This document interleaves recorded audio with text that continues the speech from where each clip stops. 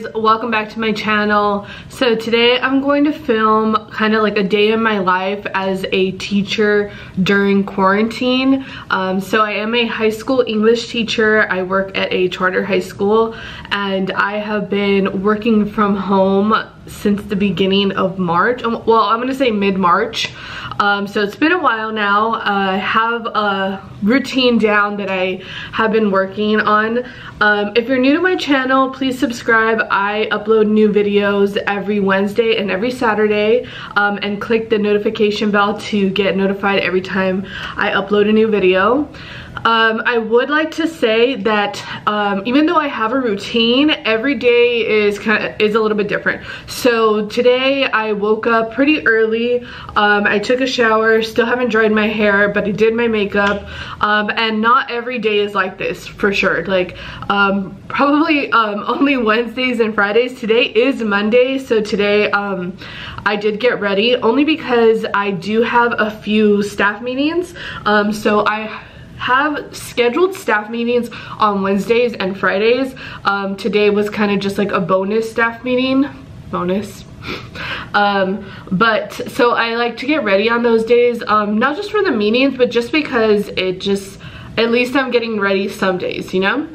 Um, Tuesdays and Thursdays are, are not like that. Uh, Tuesdays and Thursdays I kind of just like roll out of bed right before I'm gonna start work. Um, I do keep in contact with my students. Um, I don't always do, I don't do like the Zoom um, lectures stuff like that. Um, my day is a little bit different. Um, well I, I, think that every every teacher does something different.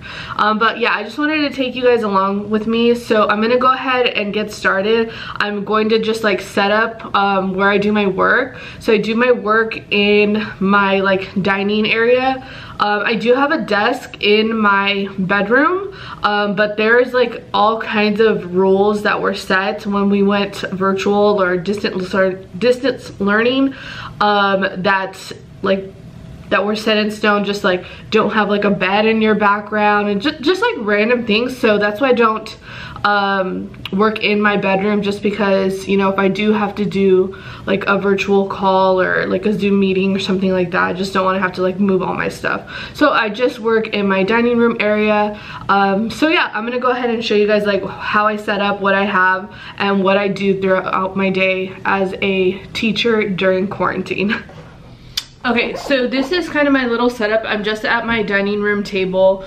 Um, the background is like a plain background, so it's really good if I have like any types of meetings, um, if I need to talk to a student or a staff member. Um, and I have my laptop set up here. This is actually, this is actually Daniel's laptop, um, but I just prefer to use his laptop. I do have a laptop that was provided to me for my work. Um, but I just prefer to work on a Mac. I just feel like I work faster on a Mac, so that's why I'm, I'm using this. Sometimes I do use my work laptop, but I prefer this one. Um, I have this acrylic stand um, that I got from Amazon. I can link it down below if you guys want to purchase it. It was it was decent price. I think it was like $25. Um, but I really like it because when I need to set up to watch a video um, or if I'm doing like a Zoom meeting, um, it's really just like helpful to be like elevated and it's not like an awkward angle. Um, so I really like that. When I'm typing and stuff, I don't really use it to type just because like it hurts me like right here on my wrist. Um, but when I'm watching videos or, I'm, or if I'm making videos, um, I definitely like using this. and then so I have my phone because that's something that I'm use throughout the day as a teacher because um, I use Google Voice. So I have a Google Voice phone number. Um, and that's how, that's what I use to communicate with my students. Well, that's one form of communication that I use with my students. So I also use, um, obviously email. Um, I use Google Classroom as well. Um, but mostly my students really just like to text. Um, the ones that stay in contact would just prefer a text or a phone call, which is easier for me as well. So uh, that's perfectly fine. So I use the Google Voice number. So I get the text message to my phone and they get the text message or call to their phone, but it's not my personal cell phone number, which I really like. Um, the downside of that is that Uh, I know a lot of teachers are experiencing this right now. Um, I can text and call all day long, like during school hours and not get like any responses. And then like, you know, five, six, seven o'clock at, at night, eight o'clock at night, or even later sometimes, I get my phone just like blows up with a bunch of like questions or um, like students like submitting things through text and it's just, um, that's just how it is. You know, um, a lot of my students work right now. Uh, so some of them, you know, like work in the, in the food industry. Um, I have a lot of students that are helping out their parents because their parents are at work, so they are taking care of younger siblings. Um, like I said, I am a high school teacher, so my students are at the age where they are getting jobs now. Um, some of my students are parents, so that's a job in itself. Um, I have a, a, few students actually that are now working like construction or like heavy labor jobs with their parents and um, so I just praise those students. I mean, I, I can't imagine having to live through this like pandemic. Um, it's, it's a crazy time in general, having to work full time and to go to school full time at the, at the same time is very hard and being 16, 17 years old. Um, so I praise those students. Um, I'm being, and I hope a lot of teachers are being like, I'm being very lenient about um, you know, like deadlines and just stuff like that because, you know, it's just, it's a crazy time and it's, it's not, it's not fair. Um, and it's, I don't know. I just feel like it's, I should not be another cause of stress to them. Um, so yeah, so I'm very lenient on that stuff. So communication through my phone is really helpful for them as well. Um, so I have my laptop set up and then I just keep um, a notebook as well. So just have this notebook just to keep notes on random things, you know, that happen throughout the day. Like if I get like an email or like a Google chat from any coworker or my boss saying like, this is a new practice we're doing now, I'll just write it down. Um, so I have it. Then I also keep a folder here with um, the units that my students are working on. So if they have a question and I'm not entirely sure what they're talking about, I'll pull this out so I can look through it and make like, go to the page that they're on and look at exactly what they're looking at um, so that I can help them in a better way or understand what they're asking me. Um, so like I said, I've been working distance learning since um, mid-March. I don't remember the exact date, but mid-March. Um, and my students are finishing up their their or my class with me. Um, so I have a lot of students that finished on Friday. Um, our school is very um, it's not a traditional school setting so students really can finish at their own rate uh, we do allow a lot of students to um, make up work and turn in stuff late um, even before this pandemic. So now, obviously, we're continuing that, and we're doing, uh, we're being a little bit more lenient with the with the deadlines and stuff. So I have students that are finished. I have students that are not even close to being finished, but that's okay. Um, hopefully, they still have time. Our school year doesn't end till I believe March 22nd. No, May 22nd. Um, so there's still time, you know, about a little less than a month. Um, so hopefully all of my students get to finish this semester. Um, I don't know if I mentioned this before, but I do teach high school English. I teach ninth grade and 10th grade English. And the way our school works is that um, I have a variety of ages in my classes. I don't just have ninth grade and 10th grade students um, because our school is meant for credit recovery. So I might have a senior in my class that's uh, retaking ninth grade English, um, just stuff like that. But yeah, okay, I'm gonna, so the first thing I do is I check my emails um, because I always wake up to like 1,000 emails and I'm just kidding, but it, it feels like that sometimes. Um, and what I'm gonna do is because I had students finish on Friday, I have quite a few units that I need to grade and like input their grades. Not quite a few, I would say like, like a handful. Um, so I'm gonna start off with that. I'll probably do that for maybe like an hour and then um, I'm gonna go ahead and make some breakfast during that time or after that. uh, because I am getting pretty hungry but I try to drink like a full glass of water like it's it's a pretty big glass uh, before I eat breakfast and get some work done before I eat breakfast.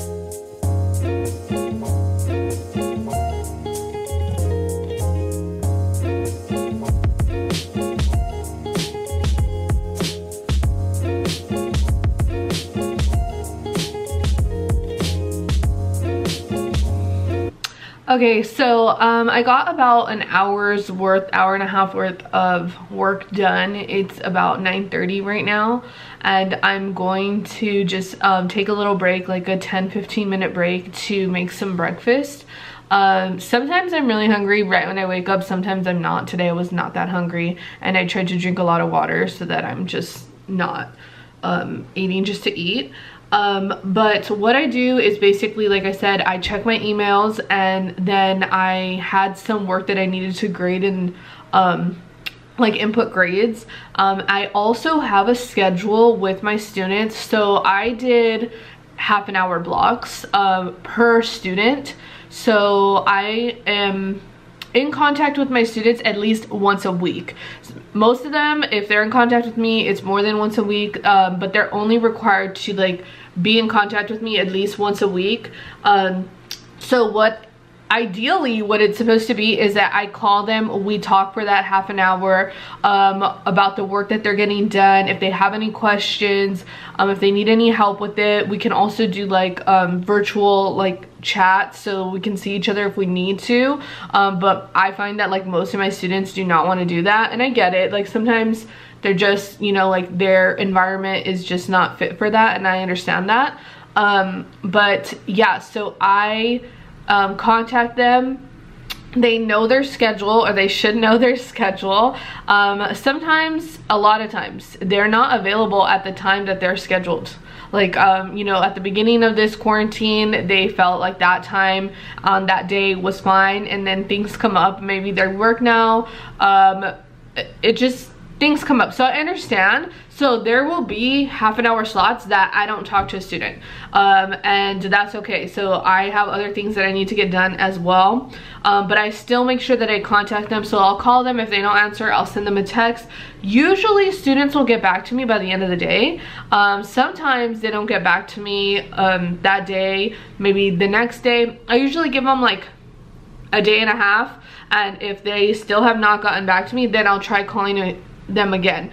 Um, like I said, so, some students don't answer so I have time in between. So say on Monday I tried to call my 9 o'clock appointment they didn't answer they didn't get back to me and then on Wednesday um, my 11 o'clock appointment didn't answer either. I can go through my list and see like oh hey my 9 o'clock appointment on Monday didn't answer so I'm gonna go ahead and call them again right now to see if I get in, in contact with them.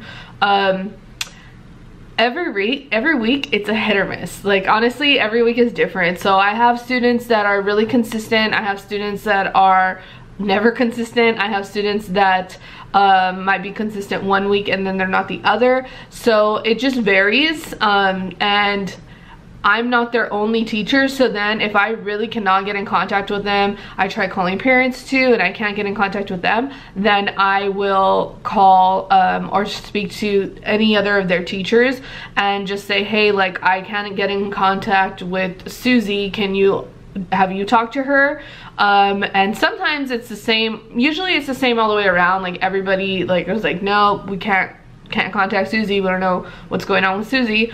Um, but sometimes they're like oh yeah I, I, just spoke to her. Her phone is out of service. She called me from her mom's phone or you know um, things come up. So communication I feel is like the biggest thing um, for this time, like during quarantine and, and distant learning is um, the only way to like succeed through this.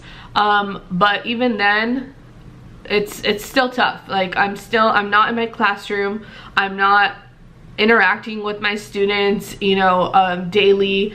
Um, it's, it's just so different. And I think it's just really important for for everybody to understand that. So um, not just like students and parents, but teachers as well, that um, we really don't know like what's going on with our students like outside of school. You know, they might share some things with us and some students might not share anything with us.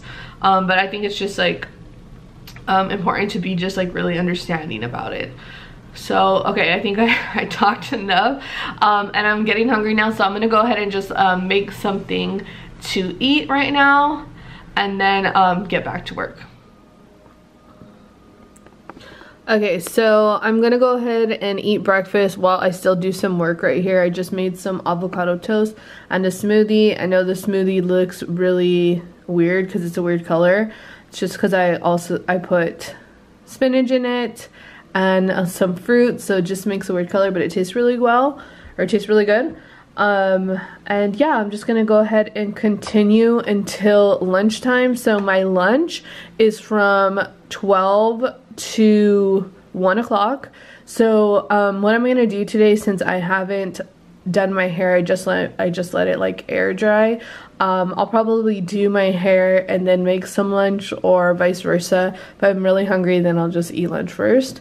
Um, but I do have an hour lunch, so it's really nice because I have a lot of time to get things, like to get something done and also eat lunch.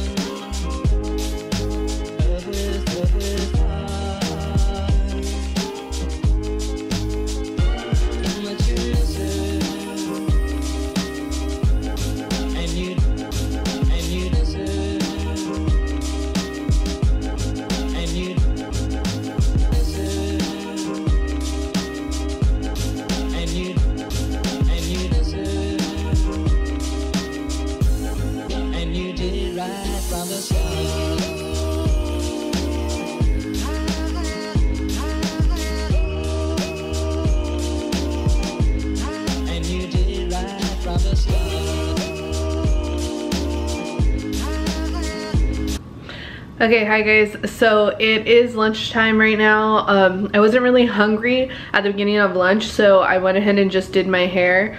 Um, and now I'm getting pretty hungry, so I'm gonna go ahead and warm up some leftovers. So last night, um, I made some green enchiladas and rice. I'm just gonna have that for lunch because I have just enough for like one more plate so I might as well eat it now um, and yeah and then after lunch I'm just gonna go ahead and get back to work I got all my grading done. Um, all I need to do is I have a few phone calls I need to make to students and I'm going to just hit up the students that are a little bit more behind to see if they need any help or um, if they're done with their units. Okay, so this is lunch. I'm just gonna have my green enchiladas, some rice, and a little bit of salad and a iced water and I did make some cookies last night. Um, so I felt like my measurements were off. So instead of making like a bunch of regular sized cookies after I, I felt like I messed it up I just made one large cookie to like finish off the dough. But turns out they came out like pretty good so I should have just made a bunch of cookies. But now I just have that like huge cookie for no reason but yeah i'm gonna go ahead and eat my lunch now okay guys so um hopefully you got a little bit of insight of what it's like to be a teacher teaching from home, um, distance learning, uh, Zoom University. No, I'm just kidding. Um, but basically, uh, yeah, it's it's a whole a whole nother game uh, compared to teaching in a classroom. Um, sorry if you can hear uh, my washer in the background, it's super loud. Uh, but that's something that like, that's part of like the issue sometimes. It's like, um, of course I want to like run laundry or like the dishwasher while I'm at home, but I'm also like technically in my office or in my classroom at the moment. Uh, but yeah, so it's every day is different. Um, some days are really, really chill. I might not talk to a lot of students. I might not even talk to a lot of staff. Some days are really hectic where I have a lot of students um, coming with questions or turning in work. I'll have staff meetings. Um, like you saw earlier, I had a staff meeting. Um, that one was a pretty short one, so it was only about 30 minutes. Some of our staff meetings go over an hour, um, which is, you know, sometimes really necessary. A lot of a lot of changes happen have happened during this time. So um, that's just one way of communication with um, my staff is like we'll have staff meetings we'll do we'll have zoom or google hangouts meetings um, which is cool to well, you get to see your you know like your coworkers and stuff. Uh, definitely not the same. Uh, but yeah so uh, that was just uh, one day in my life as a high school teacher doing distance learning. Um, if you guys have any questions about what um, it's like to be a teacher at home or what I'm specifically doing with my students um, go ahead and leave your uh, questions down below in the comments. Um, I hope you guys have a really good day. I just want to uh, end this video by saying that um, the best thing you can do during this time, whether you're a teacher, a student, or a parent is to remain positive. So this is a hard time for all of us. So it's a hard time for your teachers. Uh, it's a hard time. We understand that it's a hard time for students um, and it's a hard time for parents as well. And um, remember that this has never happened to us before. We weren't, I, you know, I didn't start off the school year knowing, okay, in the middle of the March, I'm going to be working from home, so I better, you know, get ready for that, prepare my students for that. Nobody was prepared for this, uh, so we just have to take it one day at a time. Um, I know it can easily be frustrating and stressful.